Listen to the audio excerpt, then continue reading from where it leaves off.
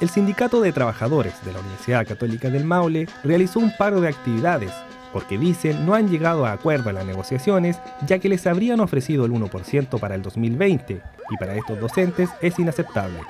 El Sindicato de Trabajadores de la Universidad Católica del Maule se encuentra en huelga indefinida, ejerciendo un derecho constitucional que hoy permite protestar y defender nuestros legítimos intereses.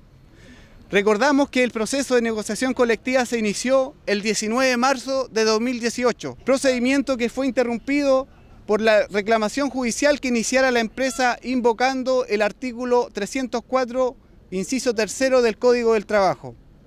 Situación que generó un extenso proceso judicial por un año y medio y que finalizó en la Corte Suprema de Justicia con un fallo favorable al sindicato de trabajadores, sentencia que obligó a reanudar la mesa de negociación.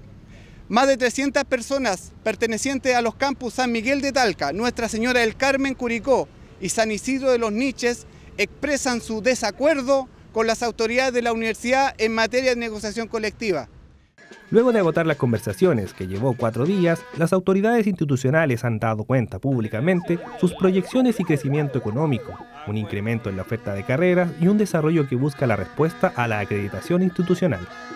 En negociaciones pasadas, cuando la institución no tenía sostenibilidad económica, nuestro sindicato postergó sus legítimas aspiraciones, Así lo ha expresado en más de una oportunidad el rector Diego Durán. Hoy, afortunadamente, la universidad ha crecido. Observamos resultados e indicadores que dan cuenta de un desarrollo económico que permite analizar el 5% que los trabajadores proponen discutir.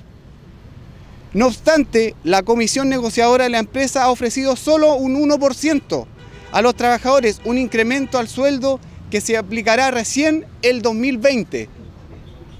Una propuesta, a nuestro juicio, que es inaceptable. También comentan, la huelga es un derecho, también un sacrificio, a veces incomprendido. Como trabajadores de una institución católica, sabemos cómo es la doctrina social, que reconoce las organizaciones sindicales y su finalidad como derecho de huelga. Cabe preguntarse si este será el medio de presión, el camino para encontrar acuerdos o tener la capacidad de descubrir nuevas formas para dialogar.